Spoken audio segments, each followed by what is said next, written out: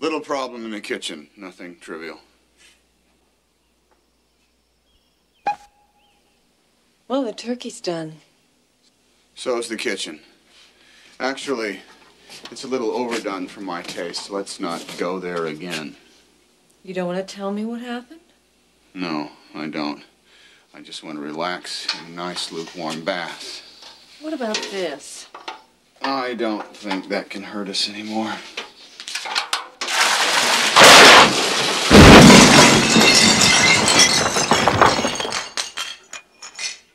Ha